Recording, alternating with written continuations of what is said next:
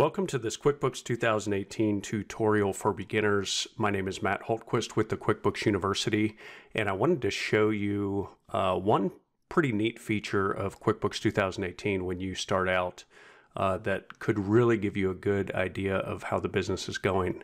You know, from day to day, you're entering information, you're entering bills, paying bills, invoices, etc. Uh, but when you want to just get a good overview of the business and how it's doing, uh, you can go up here to this button up here. It says snapshots. Okay. All right. So when you pull up the snapshots, you're going to see a summary of information about the business. Okay.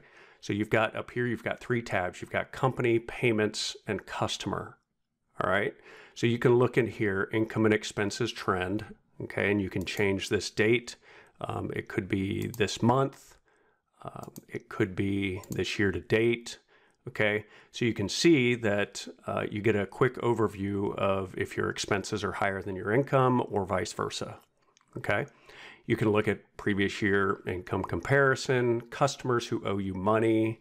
Okay, so you see all of these different items here that are going to give you a really good kind of quick, just like it says, snapshot view of how the company is doing. Okay, now if you want to change the content, you can just X out of some of these. Uh, you can also click this add content, okay? And you're gonna see up here, there are different items that you can add, okay? And all of these items have already been added, all right? So now there's other ones here, you know, top vendors by expense you can add, vendors to pay, reminders, okay? Some people like to, you know, just see the reminders of what they have coming up, you know, money to deposit, checks to print, etc. Uh, but again, this is just a great way to get a quick snapshot of the business. All right. Now, if you go over to the payments tab, you're going to see here, uh, you've got kind of the same thing. Uh, you know, invoice payment status, customers who owe you money, uh, payment reminders. And again, you can go up here and click add content and you'll see here that all of these items have been added. Okay. You've also got some quick links if you need to receive a payment, credits, refunds, sales receipt, etc. Okay. Now the third one is the customer. Okay, so you can see this customer that has been chosen here. Uh, you can just pick one in particular. Say Aaron Davies. Okay, and it's got you know summary information about this customer, sales summary, um, just a lot of great information that you can get all in one place without having to go to 10 different areas within QuickBooks. Okay.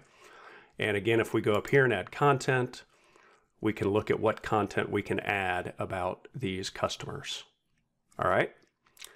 All right, so hope this hope, hopefully this uh, video helped and uh, will give you a good idea of just you know stepping back a little bit from the day-to-day input input of uh, the detail that you're putting into QuickBooks uh, 2018 and give you a good overview of the business, whether you're the business owner or you're a bookkeeper helping a business owner, working for a business owner, and you can give them some quick information and you can look up this stuff really, really quickly. All right. Love to have you join us over at the QuickBooks University. Uh, the website over there is qbuniversity.org, and I will talk to you soon.